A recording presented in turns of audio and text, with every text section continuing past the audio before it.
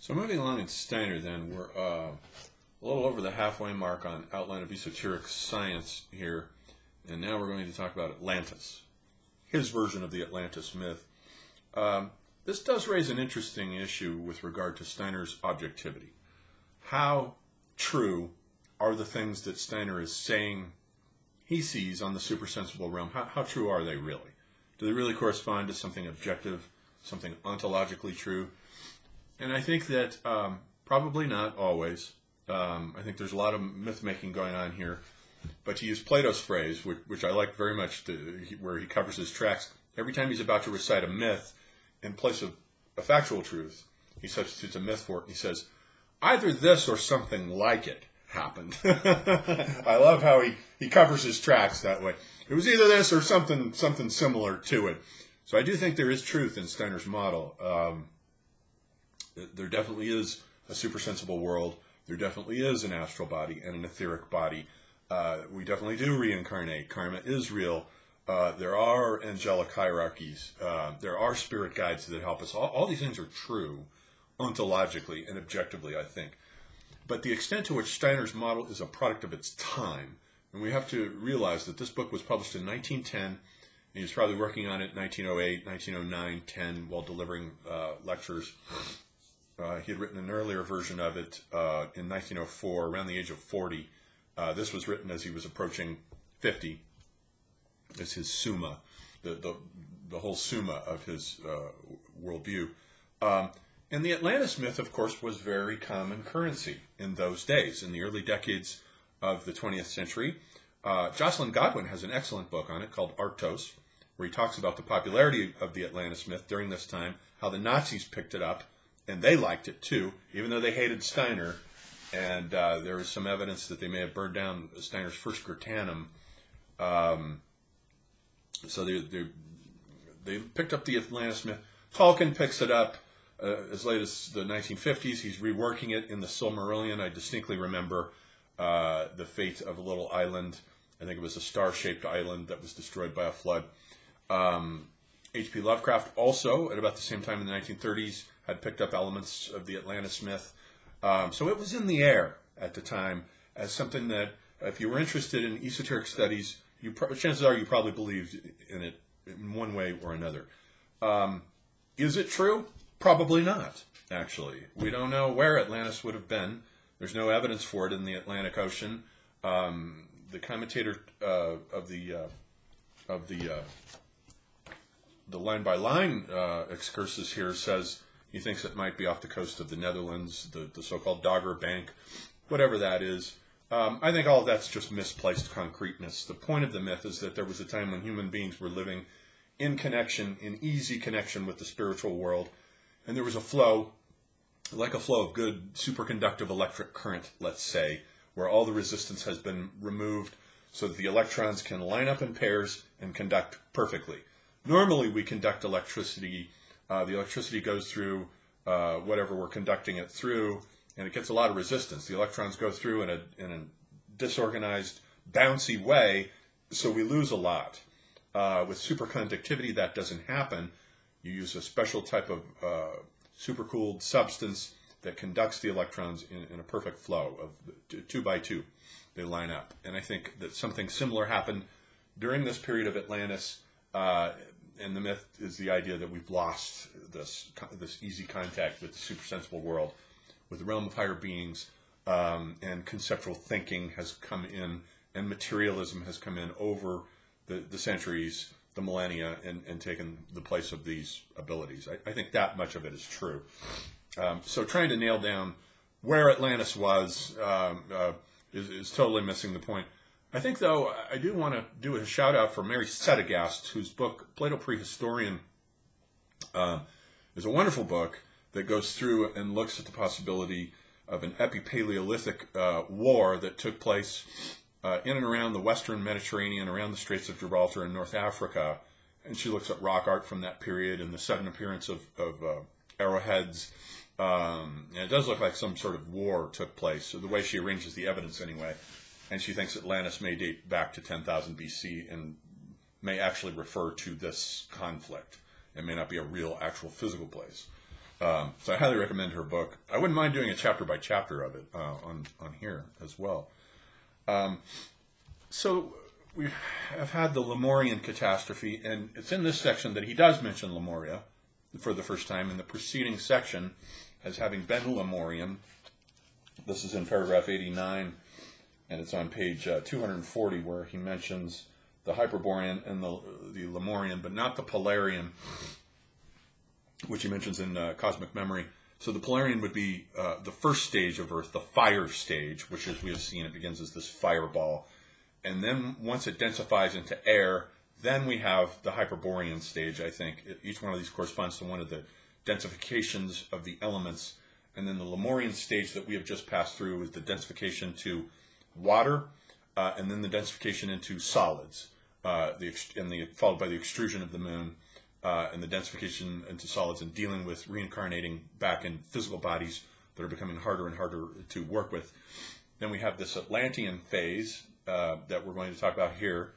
So that's um, five phases, and then we've had a post-Atlantean. So we're right now we're in uh, the fifth of these epochs, which is the post-Atlantean. Um, uh, there'll be two more after this. Everything has to come out to seven in Steiner, which is another one of his stencils that brings into question a, a certain amount of subjectivity, but that's okay. You have to organize the information somehow. Um, so two epochs after this, uh, two more cosmic epochs after this, the, the Jupiter and Vulcan uh, epochs. And then um, the post Atlantean period that we're in also can be subdivided into seven phases and we're on the fifth of those. As we'll see after the Atlantean, the post Atlantean consists of the ancient Indian, Hindu civilization, the Persian civilization, the Egypto Chaldean civilization, and then the Greco Latin civilization, and then our Western civilization, uh, which he sees beginning around uh, in the 15th uh, century, right around the year 1500, for the consciousness soul to come in and this civilization to work it out, which will be then followed by a sixth or Russian cycle and a seventh or American cycle, whatever distant future uh, comes out of the American uh, continent. Um, it's curious to me also that there's no reference to China or Chinese civilization or Mesoamerican civilization. Um, Chinese civilization was there, was fully known about.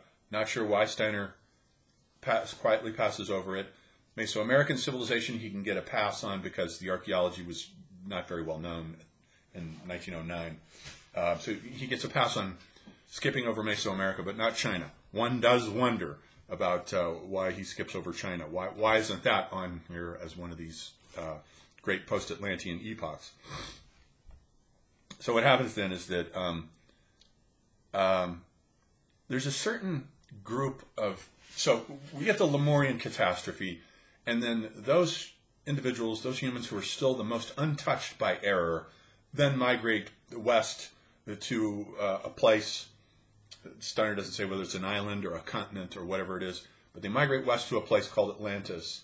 And there, what they do is they set up these oracles. And the oracles are these places where you go to commune with the planetary divinities. And the initiates are these individuals who have managed to, um, what Steiner says is to have uh, sort of remove themselves as much as possible from the passions and desires of the astral body, um, which I take it to mean carnality and sex. Um, I take it that's what he means. These individuals were more inclined to purely supersensible and spiritual realms, and these individuals, and eventually these will become races. The human beings who stayed on the planet through the whole cycle with the extrusion of the the sun and the other planets and the extrusion of the moon, and they went through it, uh, are individuals in whom the Christ impulse is very strong because Christ was one of the beings on the sun who led the extrusion of the sun from the earth. And um, the, the human etheric bodies uh, have a very strong influence from that Christ being. And so the Christ uh, initiate, the master initiate of the mysteries of, of, of the sun, um, already knew about Christ and already had these other initiates. And each of the planets, especially at first the outer planets, had their own oracle.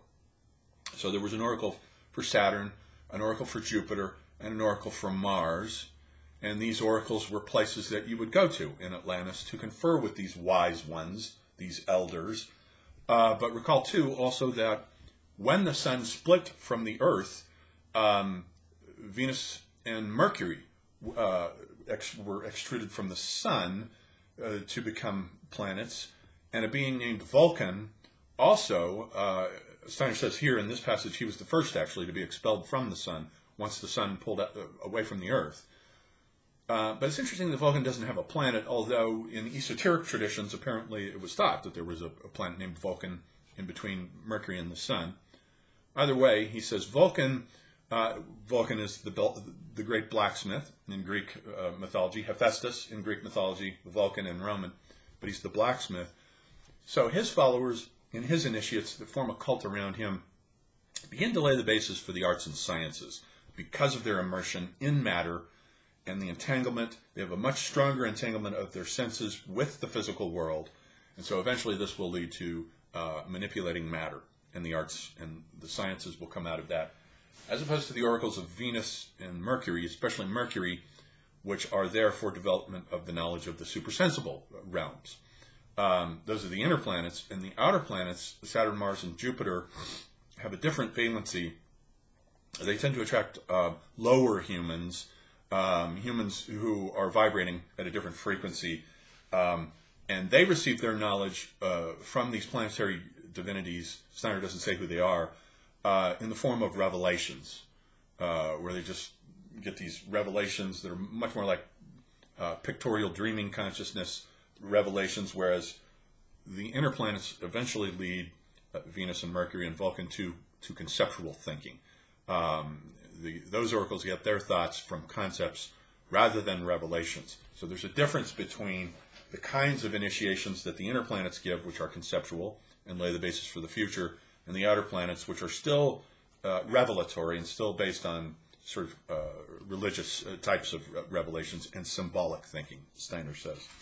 Um, so we have these initiates preserving the ancient mysteries in these cults.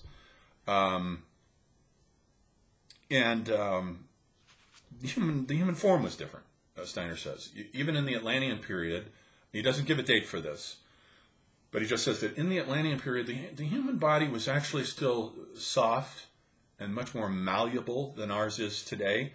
Uh, it wasn't solid the way ours is, um, but it became so over time, um, over the course of the Atlantean epoch, as they lost contact uh, with the supersensible world. The physical body got harder, firmer, and more dense, and eventually, with the end of the Atlantean period, took on the form that it has now, that we've inherited ever since, where the etheric body has become almost identical with the physical body to such an extent that the etheric body transformed the brain into the instrument of cognition, whereas when these initiates were able to separate the ether body from the physical body, they were able to use the ether body as a sort of device, let's say, for communicating with the spiritual realm, with the higher beings. Um, so you still have to have a certain amount of the ether body available for usage in order to communicate with the higher realms. Um, that's just how it's done. So human forms were, were quite a bit different. Steiner says that the uh, the more sensual of these humans had larger physiques, and the more spiritual of these humans were smaller in size. I don't know what leads him to say that, but he does. Um, so we have the densification of, of human form, and then the catastrophe that eventually destroyed Atlantis slowly starts to set in, and Steiner's extremely vague about uh, his account here.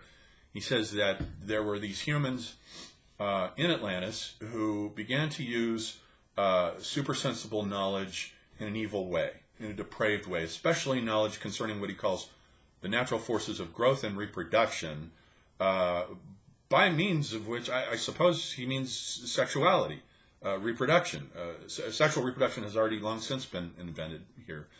Um, so somehow they're misusing it. Maybe they're having orgies. I don't. I don't know. Who knows? Whatever they're doing, they're misusing uh, the forces of growth and reproduction, and it's depraving uh, a, a, certain certain groups within the Atlanteans. And Steiner says there's a connection between the forces of growth and reproduction, and specifically air and water. He says it's a mysterious connection. He doesn't go into it, but it caused disturbances in their weather, and in water, which led to a series of catastrophes, constant uh, planetary storms that were huge, that forced these individuals to migrate east. Um, and so they migrated to Europe, Asia, and Africa, and their descendants then populated uh, these three continents. These are the three from the ancient T&O maps, where you'd make a map in the shape of a T that would have the three different continents divided by uh, the Nile River, and then uh, uh, all three of the continents would be there. The discovery of America, of, co- of course, destroyed those T&O maps, and they had to be recreated then as globes. Um, so that the circles in the T&O maps are replaced by globes with the discovery of the missing fourth. Just like in Jung's theory, there's always, in any threesome, there's always a missing fourth. There's a mysterious fourth that's not accounted for. Um, uh, but the initiates, though, uh, as Atlantis is disintegrating and they're migrating, there are certain initiates in these cult mysteries, these oracles, who keep the knowledge. Um, and there's one individual in particular who was a master of the Christ uh, initiations, uh, the Sun initiations, who not only kept knowledge of the Christ cult, but knowledge of the other planetary oracles as well, which he could rebuild with ease. So he took knowledge of them with him uh, on these migrations in order to teach disciples about what the initial mysteries were for accessing the gods, basically, the, the, the super sensible world. And this individual also, um, Steiner elsewhere calls this the principle of spiritual economy. He has a lecture cycle, which I highly recommend. It was one of the first books that I read by Steiner, uh, which clicked, which I just started reading and I couldn't stop. And for the first time, uh, reading that book, Steiner was no longer a struggle. And from that point on, I just figured him out. It was a lecture cycle that he did in 1909, about the same time uh, that he was working on this book. He's talking about this principle of spiritual economy in which not only does is it the case that the I, the soul, transmigrates from lifetime to lifetime, but there is a principle of spiritual economy whereby the best etheric bodies and the best astral bodies created by these individuals are preserved and can be copied. Not only can they be copied, I have no idea how, uh, but they're copied by these initiates and they can be transplanted into un- other in- individuals. So it's a weird, sort of different form of reincarnation. I remember him saying in that book, it's been forever since I've read it, something about uh, Galileo maybe inheriting the etheric body of, I don't know, Nicholas of Cusa or somebody. Uh, I forget what the concrete examples are, but because it's been so long. But that principle of copying ether bodies and astral bodies and transplanting them into other individuals, which spiritually accelerates them. I guess today we would just say, uh, well, the guy has a talent for it. Uh, Mozart uh, came in with a talent for music. Uh, we don't know what his past lives were, though, that, that built him up uh, to that event, the Mozart event, where he could be born with those abilities. Um, so then the betrayal, he says, of the Vulcan mysteries, though, that various of these mysteries are, then scattered and dispersed across the globe, uh, and they're used for good and bad purposes. They're understood or misunderstood. But he says the betrayal of the Vulcan mysteries had a deleterious effect, uh, uh um, particularly because the Vulcan mysteries are tied to the physical plane, and they have to do with uh, the arts and sciences and manipulating matter and that eventually will lead, of course, to materialism, especially when some of these groups of individuals now come under the influence of a, of a being called Ahriman, who's the Persian name in Zoroastrianism that Zarathustra gives to the god of matter, the evil being there, who becomes the prototype, of course, for Satan when the Jews are taken into captivity um, and restored by Cyrus. Um, they come under the influence of Persian mythology and they pick up Ahriman and translate him into Satan. Um, so Ahriman becomes the god who is associated with matter and withdrawing a veil down over the supersensible world and tricking human beings into believing that matter is the only thing that matters, that machines are all that matter. And this sets the West on a certain course. He says uh, Mephistopheles in Faust is the same being. Mephistopheles is the god of the machine. He's always there to provide you with whatever experience you want but what you get from the experience, uh, whether it's uh, you know having sex with a woman, uh, whether it's learning alchemy uh, or astrology, whether it's having this experience or, uh, or that experience, um, doesn't matter what the experience is. Mephistopheles can provide it for you. but it's up to you to extract the human lesson out of the experience, which is a sort of, you know, kind of a miniature version of what of what we're doing on the global scale here with all these incarnations. We learn different things from each one of them um, that we take with us. And so he says that um, the betrayal of the mysteries now um, caused during the Atlantean period, but not after it. During the Atlantean period, it caused grotesque human forms to appear, because uh, for Steiner, this is the old idea of physiognomy, where the outer physical is a reflection of the inner spiritual, which is actually true to to an extent.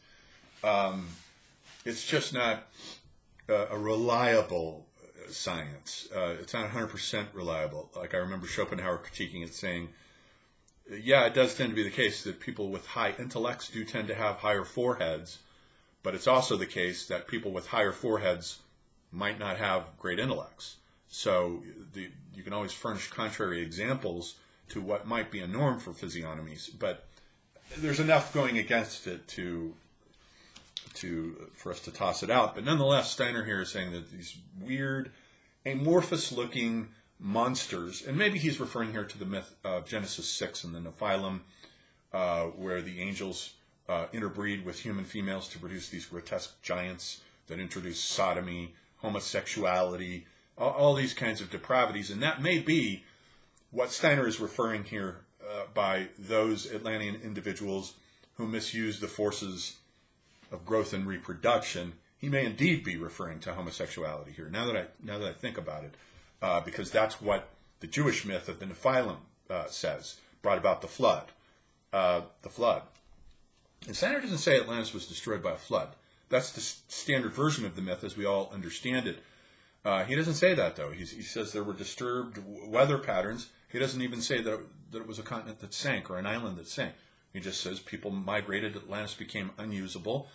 Uh, the, the, etheric body, the physical body was densifying finally, taking its final form, and the etheric body was becoming more and more identical with it and more and more difficult to free up for usage for communicating with spiritual beings. And so, as a result, um, you slowly get the identity of the etheric body with the physical body, and it shapes the brain into the primary transmitter of intellect. No longer uh, knowledge of the supersensible worlds, which we've lost, which is Steiner's whole point. It's also Jean Gebser's whole point in the ever present origin that we've gradually lost touch with these abilities. Um, so that's pretty much the Atlantis myth as he gives it. Let's see if there's anything I've missed here. Uh, and, he, and, he, says, only after this then is all over do, do humans then physically experience the principle of I, the capital letter I, uh, as identical with the physical body, with the first time once the etheric body has become uh, pretty much identified with the physical body and um, I remember him saying elsewhere that some of these Atlanteans had halos. Uh, uh, that was their etheric body sticking up out over the head still, and is the origin for uh, where we get the idea in art of the halo. Um, maybe um, the halo doesn't actually appear until the Hellenistic period. It's, it's a very late invention in classical art um, that may actually have come from the West and migrated to the East um, into Buddhism, not the other way around. Uh, so the ether body has withdrawn into the physical body as the human form has densified, contracted, and solidified over time. So the next, um, what we'll do is look at the post-Atlantean e- epochs. There are uh, four of those ahead of ours, the Indian, um, and he pushes the dates for these absurdly far back. I think the Indian epoch pushes back into something like 8000 BC, maybe, or just a way farther back than you can push them. The, the dates just don't line up. Um, India and then Persia, and definitely not for Persia. I don't know why he puts Persia as the second oldest of these civilizations. It absolutely is not. It's an Indo-Aryan civilization, uh, which makes it, and so is the Hindu civilization also. These are Indo-Aryan civilizations which come in during the second generation of civilization, according to Toynbee, not the first, which is the Egyptian and Sumero-Babylonian civilizations, which, however, Steiner calls the, the Egypto-Chaldean civilization, and he puts that third, and then puts uh, the Greco-Latin civilization. Sure, if you imagine the shape of a V, uh, I think there's a diagram of this in the Essential Steiner. uh, where at the, the apex of the V uh, occurs during this Greco-Latin civilization, where the Christ incarnation occurs, and it becomes uh, the axis, what Hegel called the the axial event, the incarnation of Christ, as the axial event, the hinge on which everything else turns. And our civilization that begins around the year 1500 AD is uh, the, the Western civilization that begins is the first civilization on up, uh, moving up the slots, and then there'll be a, a sixth and a seventh, a Russian and, a, and an American. And so that puts our civilization in resonance in a certain way with the Egyptian civilization on that V shape. Um, and the Egyptian sense of mastery over the physical plane is in resonance with our mastery over the physical plane, except in their case it was the mastery over uh, funerary services of the physical plane in order to preserve the, the mummy. And then so he'll say that each of these civilizations are in resonance with each other, that um, the next civilization after ours, the sixth, will be in resonance then with the um, not the Egyptian, but ours is in resonance with the Egyptian, but with the Persian, and then the last of those uh, civilizations with the, the Hindu, with the Indian civilization. So there'll be certain recapitulations, um, but the incarnation of Christ uh, is an axial event because it actually transforms the vibratory structure of the earth. Uh, the blood of Christ, when it leaks onto the ground, actually introduces a spiritual element from outside that has come from the sun that was not there before and changes the vibratory structure of the Earth. So it's, a, it's truly an axial event. So we'll look at the post-Atlantean epochs next.